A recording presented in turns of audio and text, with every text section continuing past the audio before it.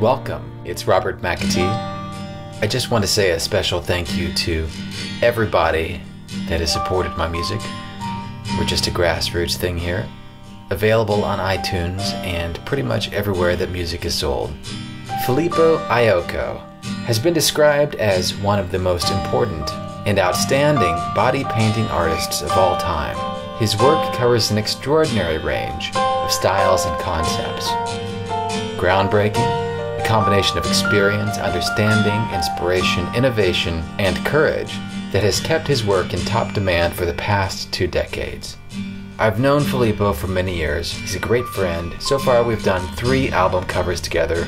We wanted to share the concepts, some behind the scenes. So we talked recently. He was in Austria. I was here in Los Angeles. He had just come down with a really bad cold. How was it?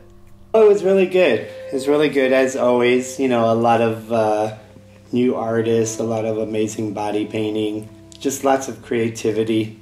The first album cover, An Afternoon in Paris in the Middle of the Night. Since most of the songs had something to do with love, we wanted to do something romantic yet unique. Our first initial idea was we knew you were going to body paint me. But then somehow we got into this idea, you know, with all these different uh, images, and then having her in an image whispering in your ear.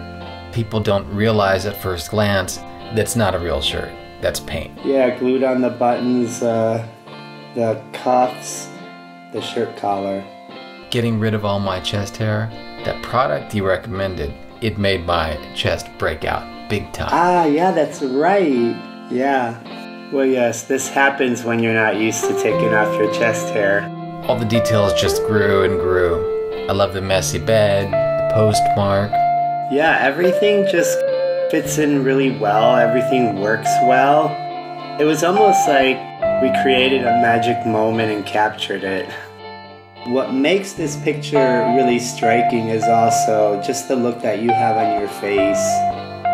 You know, it's like innocent, sexy, mysterious, especially with her kind of like in that position as if she's gonna whisper something in your ear, gonna tap you on the shoulder or on the neck. Impasto, lots of lyrics, a bit strange. The original idea was for me to be a jester and for there to be a little person as the devil that you were going to body paint.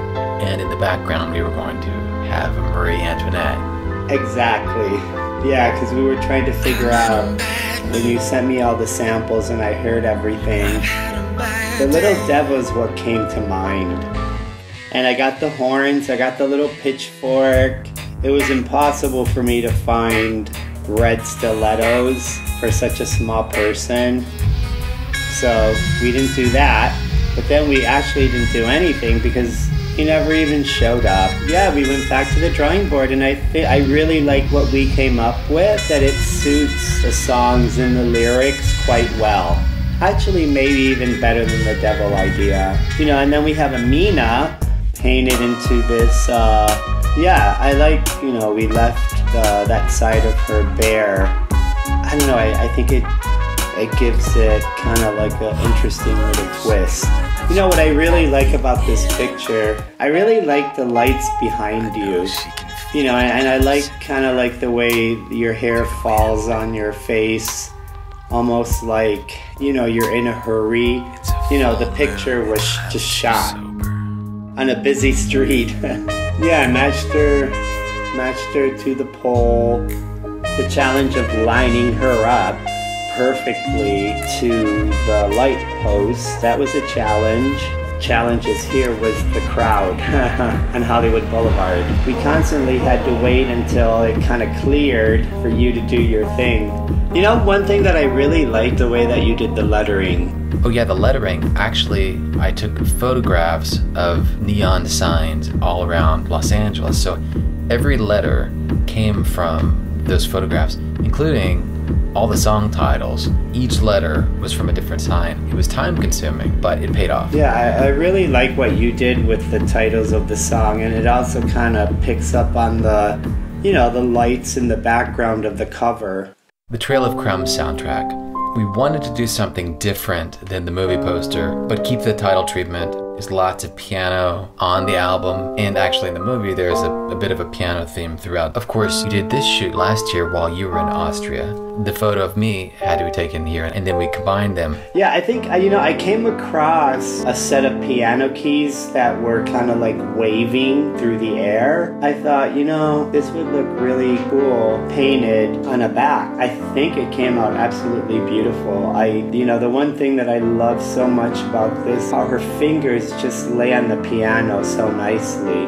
The look on your face, you know, just your whole attitude, I think really works well with the music. Very somber, it's like you're thinking, you know, and and then she's in the back, you know, playing this piano, which like you said is all through the CD. The model that I worked with uh, for this shoot, her name is Carla, and I've worked with her many times before. She lives here in Austria. When we did the body painting and the shoot, you know, she was holding her baby, her child, holding her in her arm while I'm, you know, painting the her back.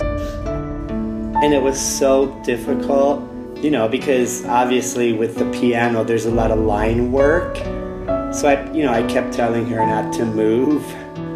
And of course she was, you know, moving because the baby was moving and but in the end, you know, it came out beautiful. Well, Filippo, I look forward to many more album covers with you. Rob, you know, it's always a pleasure working with you. I like that you give me artistic freedom. Bright neon lights.